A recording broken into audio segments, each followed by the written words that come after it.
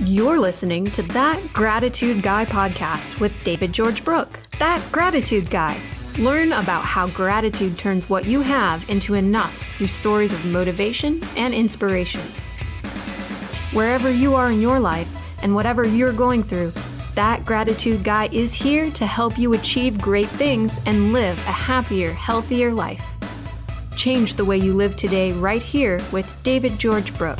That Gratitude Guy starting now.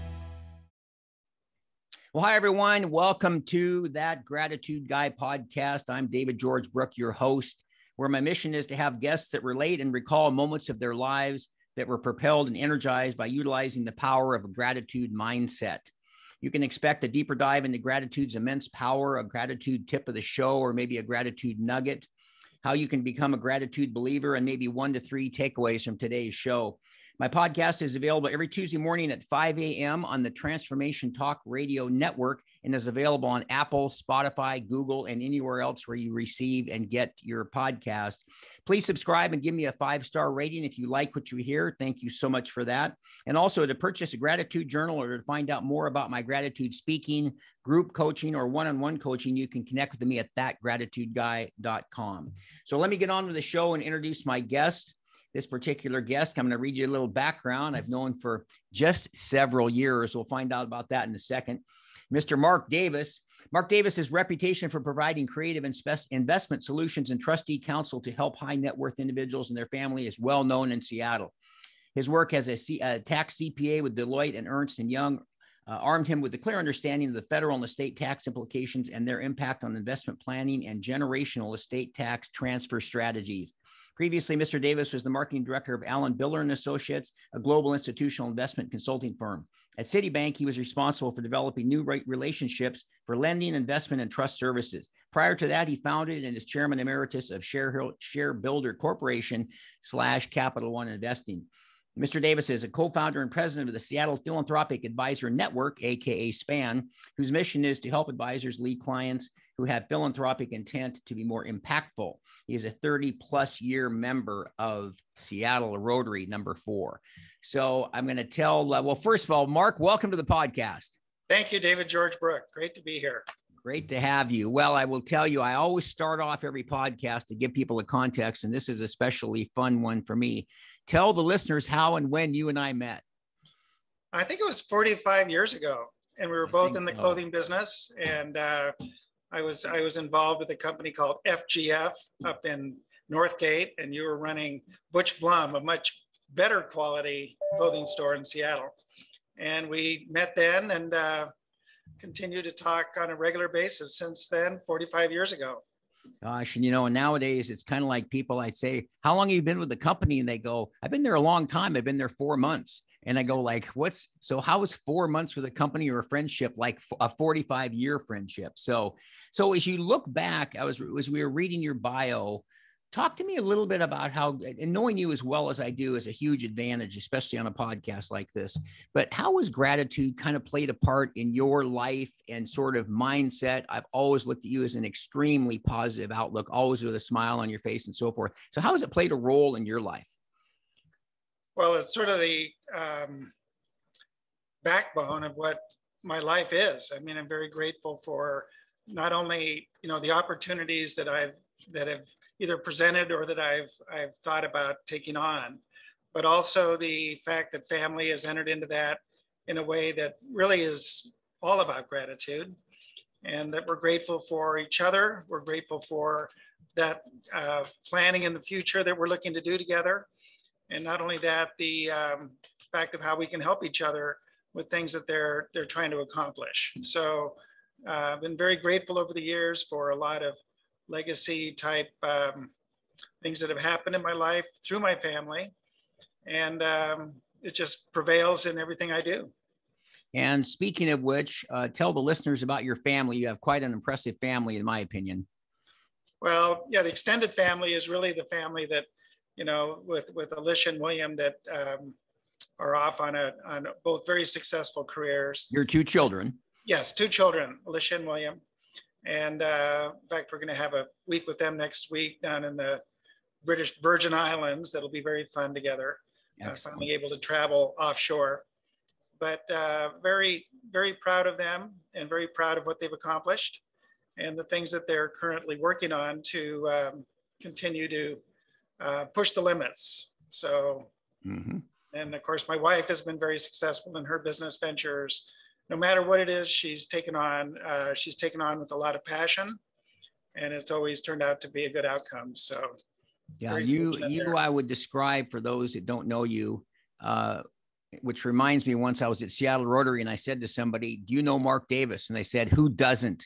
So I can I can strive for that someday. That's my goal. Have you ever heard of the gratitude guy? No. No, why should I have? So it's really good. But you you two make a tremendously uh, powerful couple. What you've accomplished in your life and what Louisa has, and of course with Alicia and William as well. Uh, how's kind of gratitude been a factor in a long marriage with you with Louisa? I think it's really uh, common goals. I think uh, we've been very um, clear on you know what we're looking to accomplish and how we can either, you know, change or tweak that uh, goal to a way that really is something that we take on together or um, don't do it, you know, unless we're going to do it together, we really haven't taken it on. So it's having that support uh, by her for my goals and me for her goals that we um, continue to stay in our own lane, but we certainly support each other as we um, accomplish those goals. So we're very clear on goals that we're looking to accomplish, and whether that be you know spending more time with the family. One of the one of the things that uh, she said recently to me, Mark, is is you know we can we can get these kids off to vacation, but it's it's, it's a lot easier if we pay for it. That's good, and I like that. I would just make some notes. Um, you and Louisa in a long marriage, and and Alicia and William, and so on common goals, which you tweak along the way, uh, sort of stay in your same lane. Uh, it's it's one of my favorite questions coming up, which I just don't know if I always get an answer. Maybe sometimes the answer is I don't know, but you're both so motivated, and both Alicia and William are very motivated and inspiring. Where do you think the motivation came for you in your life? Where do you think it came from? And maybe speculate and answer maybe where it came from for uh, Louisa. Well, certainly our parents. I think our parents were both very uh, clear on the things that they wanted to do with the family, uh, things that were important to them. And I think Louisa shared that same common bond with and, and outlook with her parents, very, very similar in, in how much level of risk they wanted to take. And then also, um, you know, not going too far over their skis. So, mm. you know, we, we've taken on things that we think are important and with that was uh, the courage to do that uh, through what we saw our parents able to accomplish. Mm-hmm. So it, it was really that that ability to not only be encouraged by them, but also be um, clear on what it is we want to accomplish. And, mm-hmm. and we mm-hmm. do that really by writing our goals down and looking at them on a daily basis. And, and what happens in that process is your, is your uh, uh, subconscious mind kicks in and all of a sudden you're seeing opportunities that that goal is presenting itself to accomplish so you can uh, accomplish it. So goal setting is a huge part of how we run our life. And that and that was instilled in our parent from our parents and what they did. And i think about that too. A lot of times people answer that question with their parents uh, grandparents, a professor, a teacher, a coach. There's various people, sometimes a boss, sometimes it has inspired people but I always think I like the term birth lottery because so often when people talk about their parents, it's that's just what we did. We win the birth lottery. Did we get some good, good parents that cared about us? And you know, you see these stories all the time about people that abuse their children and so forth. And I wonder how I would have been if I was in that situation. I certainly had a good childhood, and so it makes a big difference. But so in, in terms and, of, and, and oh, just ahead. to add, just to add to that, mm-hmm. you know, my dad did study goal setting, so he did. Mm. Um, really believe in it and, and instill that in me. And, you know, by, by those looking at your goals every day, all of a sudden, you know, you, you realize you can just accomplish a whole lot more if you visually write it down like you do with your gratitude journal. Mm-hmm. If you write mm-hmm. down the goal, there's a really good chance if you look at that goal every day that that will be something that you'll be able to do.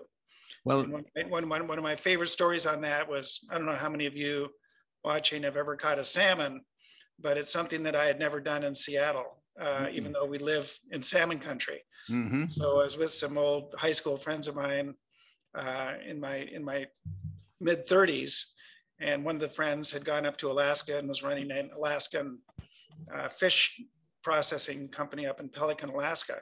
And he said, "Hey, why would you guys like to come to Alaska next year and go salmon fishing?" And I think if I hadn't written that goal down and had looked at it every day mm-hmm. for two or three years when I started my goal setting process, I might have said, ah, no, I don't, I don't have time to do that. But the fact that I had seen it every day for three or four years, I said, that I would is, love to do that. So that is a good point. And there's more and more study, and I bring I bring this up in my talks and different modules about the power of writing something down. And we have all these now. You can speak and you know send a book to Mark Davis, and it types it up for you, and you can type on the keyboard and so forth. But there's something about this writing instrument, this pen and a piece of paper.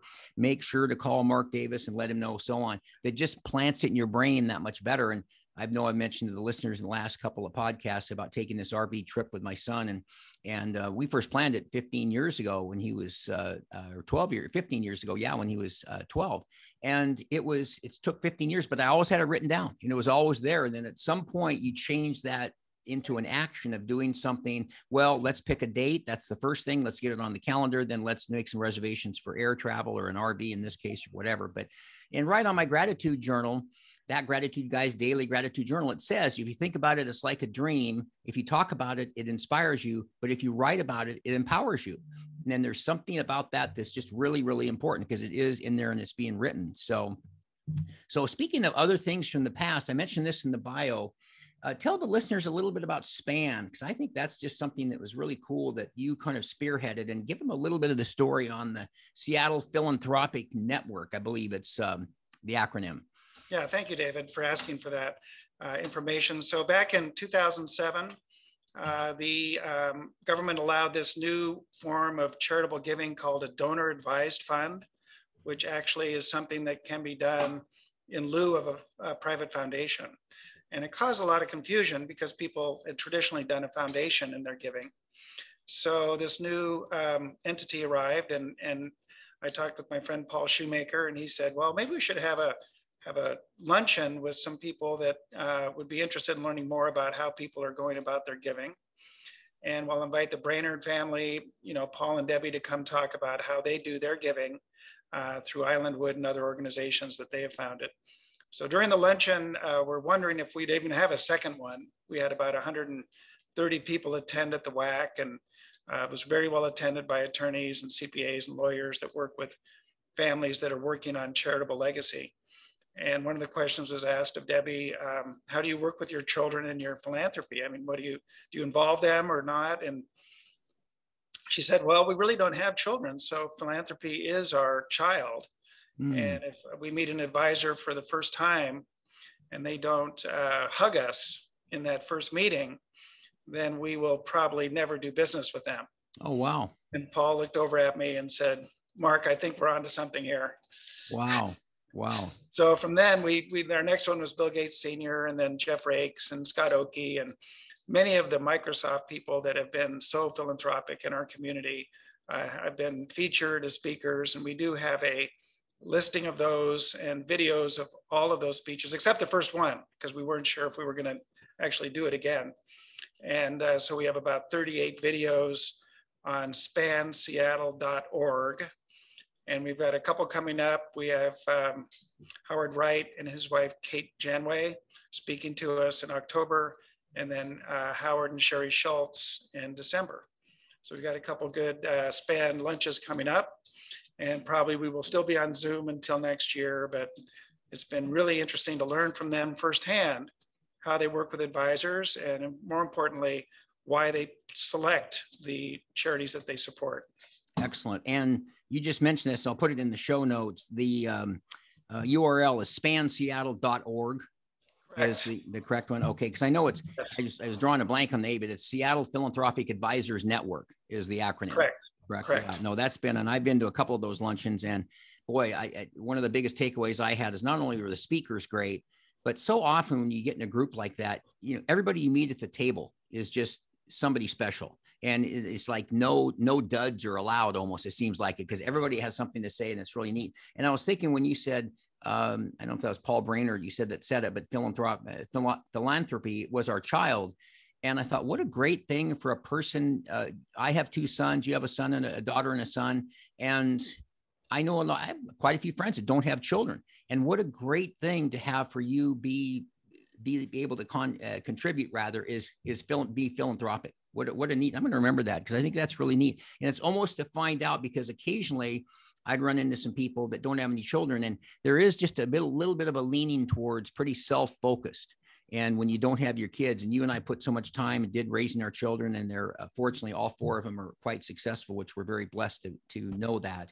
But what a neat thing for somebody to channel that energy into that doesn't have kids too. So speaking of channeling energy, I, I like we haven't talked about this in a long time, but I think the listeners might be interested. Talk a little bit about your ShareBuilder Capital One experience because I thought that was really kind of a neat. I thought that taught you some good lessons that might be of interest to the listeners. Oh, it did. Yeah, and it was pretty early on in the internet. Uh, one of the things I learned at University of Washington was that uh, through a guy named Vernon Buck, who was one of my favorite professors there was Mark, it's always better to have a good distribution channel than a good product. Mm. And when I learned of the internet through Marty Rood, good friend of mine through Rotary, who was selling cars on the internet, um, it became very clear to me that there's only one thing better than distributing a car on the internet, and that's something that you don't have to actually deliver, mm. which is a stock. So stocks are already digital. Uh, we set up a direct stock purchase plan online service for direct stock purchase plans to be offered on the internet. And then that evolved into a brokerage that we allowed people to purchase stocks, not only on the internet, but actually through their bank account on a monthly basis. So wow. it was a very um, interesting uh, opportunity at the time. People were very skeptical as to whether or not the internet would be something that would be around, because just like everything, if something's new, maybe it's not going to last. But as right. we learned, uh, the internet, thank God that COVID happened uh, now and not 10 years ago, because we wouldn't be able to have these kind of face-to-face opportunities like we're able to do with Zoom. So we're, we're once again relying on technology to help us through some of these challenges.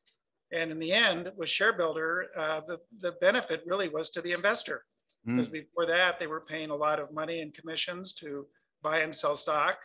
And as you know today it's free. If you want to yeah. buy a stock it's free. Exactly and in the old days um, back when i was at merrill lynch to buy 2000 shares of a stock it cost you $2000. Mm-hmm. today mm-hmm. that's free. Yeah. So it brings everybody into the market in a way that has been very very good for not only the investor but for the companies. Excellent. And that and that was ultimately sold to capital one correct uh, initially ING, then Capital One, and um, currently E Trade owns it. Oh, okay. No, it's E Trade. Excellent. So another one I was kind of I'm just noting the number of things that you've had an impact on in your life. And again, I always like to think the lessons that are learned or the the gratefulness that you got out of that or the perspective that you gained or whatever. And I noticed they all kind of start with S because there's span and then there's ShareBuilder. And then I've got a couple more S's coming up here too. Uh, talk to the listeners a little bit about Seattle Rotary because that's something that you've had a huge impact on. And it impacted me. I was a member for a number of years and just again, phenomenal speakers, phenomenal people that's where the person said, Who doesn't know Mark Davis? And I said, I think I'm hooked up with the right guy. But uh, again, tell the listeners a little bit about the Rotary experience and specifically Seattle Rotary number four. Thank you, David. Well, you know, again, back to my dad. Uh, my dad was a member of University Rotary. And he said, If you join Seattle Rotary, which I hope you do, uh, be sure to never miss a meeting. So I didn't. I didn't miss a meeting uh, until we went on to Zoom. Then I guess I've, I've missed a meeting. But for 35 years, um, I attended Rotary every week downtown Seattle. If I wasn't in Seattle, I would make up at other clubs. And it was a huge part of uh, not only uh, some of the success I've had in my career, but more importantly, in the, in the people I've known and the people I've, I've brought into Rotary. I believe that one of the things that, like with you, David, uh, sharing Rotary with somebody and then seeing if they want to join and to add to the the color and the support and the impact that Rotary can make is something that's been really important to me. Uh, some of my most important friendships have been developed not only by new people that have joined Rotary, but people that were there. And it happens because you're seeing that person. Whenever I tell people about Rotary, they're like, you mean you actually meet every week? yes, we do. So we're the fourth, fourth, oldest Rotary Club in the world. Like I like to say, we're the fourth oldest and the number one Rotary Club in the world. And um, we're that way because of, you know, some of the things that uh, have been part of that legacy started in 2000 or 1909. Wow. Uh, speakers like Nelson Mandela spoke at one point, Billy Graham, Oprah Winfrey, and we can continue to try to have top flight speakers every week address current issues that our members might be interested in. So I'm very grateful to be a longtime member of Seattle Rotary and continue to support new people uh, getting involved and certainly younger people is part of our mission as we as we go into this next decade. But actually, our membership of Seattle Rotary grew this year during the during the COVID oh, wow. time.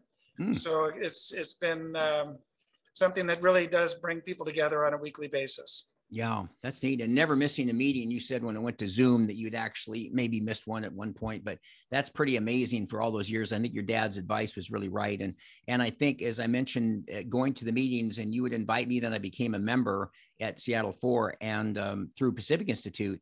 And I just remember saying, "Well, I'll, I'll sit with my friend Mark," but then then you'd have a guest or something, which was fantastic another guest of some sort. So I'd go sit at a table, get there early, and then it would fill in with nine other people and I'd get to know nine new people, and every one of them was, uh, in fact, it was funny. I think it was uh, Stan Foster, if I'm not mistaken, and I said, "Gosh, I've just I've I've never met a, ba- a bad person. I've never met a dud. He goes, well, apparently you apparently you haven't met everybody. And I went, wait, hold on a second. I think everybody's cool. And and Rotary, uh, not just mo- uh, as much Seattle, although I spoke there in October of last year, but Rotary in general was fantastic for me for my speaking because it gave me such a platform to go out to. I believe the district is 5030 in Washington, and I think I've spoken at virtually all of the chapters. And uh, once again, not only am I talk about gratitude, but also just about meeting wonderful people that want to give back to the community. There's something back. That's why I think that's neat about philanthropy. Philanthropy, phil- philanthropy was our child is so cool because giving back is really what it kind of comes down to. And in my talks, and people will ask me afterwards you know so is it you know do you make a lot of money? Do you sell a lot of books or whatever somebody might ask? And i said you know i just want to impact lives. And if i can change one person today and have them understand how gratitude mindset can redirect your life or reform it or refocus uh, i've been successful and so it's been rotary was just a really really great thing and and one thing well, i want to and, and, and david you did, you did leave out that you spoke at our district conference oh that's true Vancouver with with ezra teshome that's on the right. power of gratitude. And that yeah. was uh, probably one of the best district conferences we've ever had. And I really believe that your impact of, of your message there was was part of that. So oh, thank you, thank you. Thank you. And I remember notably uh, meeting Bill Gates's dad, who spoke there as well too, which was really neat. And Ezra Teshome, as you mentioned, and just once again, a lot of nice people. And it's just it, it's funny. It's and I think back on companies I've worked for, like Lowe's as a store manager, Nordstrom. Yeah, you met a lot of nice people. Those are pretty high quality, especially Nordstrom was a high quality company. But gosh, with Rotary, it was pretty. It was pretty hard to find a dud because there, everybody was just really people that really cared and, and maybe wanted to give back was maybe the biggest mantra of all. So, speaking of, uh, I'm to get to one last S that is something that's come up after uh, Span and Seattle Rotary and ShareBuilder is Seabeck and I'm not sure all the listeners might know about Seabeck, but because I'm going to be speaking there within the month, towards the end of last week of July, I'll be a guest speaker there for the week of camp. Tell the listeners about Seabeck because I don't know if everybody would know. I've mentioned uh, several people I'm going to be speaking. Some knew, some didn't. So again, tell the listeners a little bit about Seabeck and your experience there. Sure, sure. Well, it was a big impact, made a huge impact on our family over the years because again, it wasn't something that we did every week but it's something that we did every year. So starting when I think I was eight years old, our family would make our trip over to Seabeck when it was run by the YMCA, and then we broke it away. But it is a, and started our own nonprofit called Seabeck Family. But um, it's a conference ground over on, on the beautiful Hood Canal, just over from Silverdale. And there's a meeting house and then a bunch of outhouses that people stay in that are around sort of the meeting the main meeting house. And there are tennis courts and, and all kinds of activities to do. But when, when once again, it's about family time together. So every every week for seven days, there's you know singing after the meals, and there's a lot of fellowship, and then there's uh, programs such as the one you're going to be speaking at, which is adult education. So you know Dale Turner and Pepper Schwartz and lots of people have been over doing this adult education that you always come away with and say, geez, I, I, have I've had seven days of education on a topic that I really hadn't thought much about. Mm-hmm. And I think the people that do go to Seabeck are generally grateful people for the, the time they're together as well as for their family. But to really highlight that when you're there speaking this coming month, David, will be, I think, a real highlight over the years of, of the speakers of that kind of quality and message that you'll deliver. Oh, thank you. And it, it will be all around gratitude. In fact, kind of the title of my, I don't know if I have a title for five days of education, but my newest title or most updated title is Maximizing Your Gratitude Attitude. And I think in the last year or two, as I did a lot of Zoom meetings uh, because of the pandemic, I had navigating the new normal. I had, you know, uh, getting through the pandemic and using gratitude to help you and so forth. And I think now we're kind of through it. And I think people want to get move past the the words COVID nineteen and pandemic and and uh, coronavirus and things like that. So, but maximizing your gratitude attitude is really uh, just an important. I just hopefully will give them a lot of tools and things uh, to to take forward, and certainly the gratitude journaling is one of them. And and so speaking of tools, and we'll wrap up in about four or five minutes, but I just want to I want to have you pass on to the listeners again. I look at you and Louisa individually as well as together as two very close friends of mine. And you mentioned goal setting, but what would be Mark Davis's um, kind of a good takeaway, if you will? Maybe those five or ten steps of things that you should do every day, or that are good reminders. You mentioned the goal setting. I think is tremendous, and specifically writing it down. But if somebody came up to you and said, So everybody's heard of you before, everybody seems to know Mark Davis, give me some advice or give me a tip, what would you tell people for maybe those four or five or six things or whatever it is to do every day or kind of have as a guide for them to be successful? I guess to try to be an encourager, you know, and and and there's an old story that Dale Turner told about the um, devil who decided to finally go out of business. And so the the, the tools that he had that I've written down here stealing, lying, prejudice, greed, hatred. These are all different tools that the devil uses. But the one tool that he said he would never sell was discouragement. Mm. Because if he could discourage somebody, then he could beat him every time.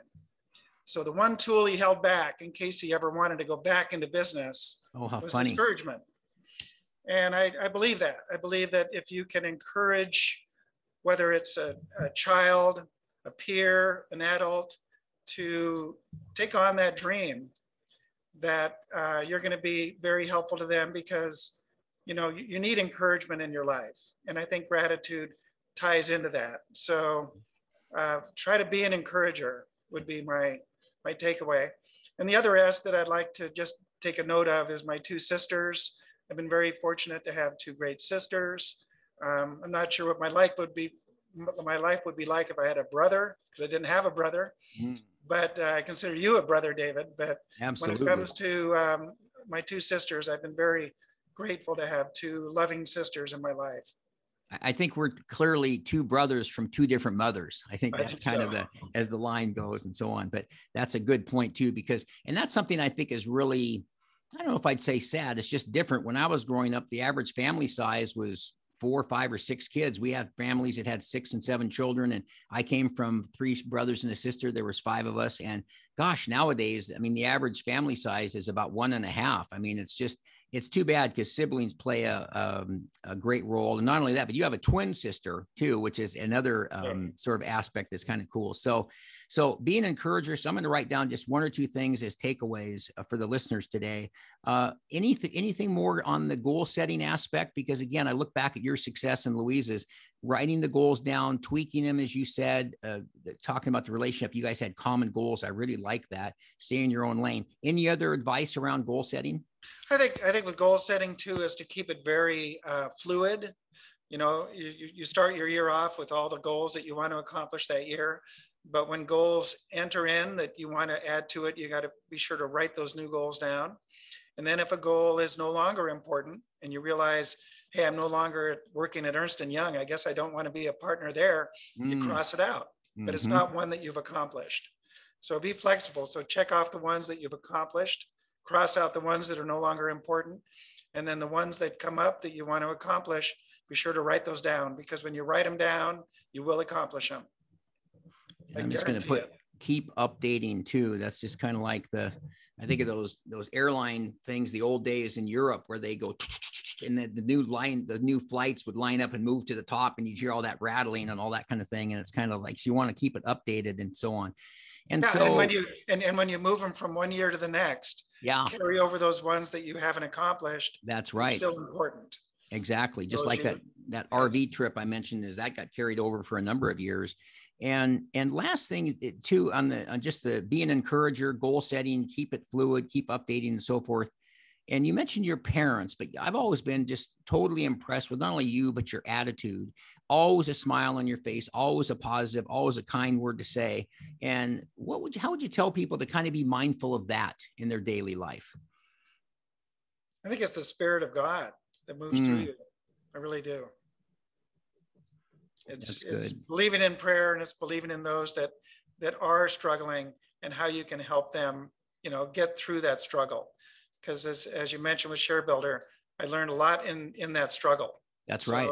As you as you have to change and move from what the original idea was, you need to be able to be flexible. That's right. So yeah, you did learn some lessons there. And I think it's interesting because I've spoken in a number of churches and am spiritual. And then I've gone to corporations and they go, well, now you're not going to talk about God, right?